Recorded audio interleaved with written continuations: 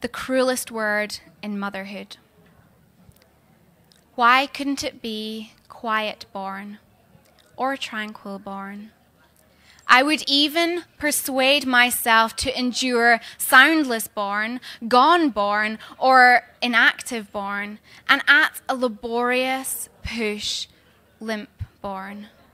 But still now, your form has been stamped with teething syllables that contract in my vacant womb, reminding me that whether you held breath in the space called life or the space called death, that after nine months of motherhood's bated breath, you were still born.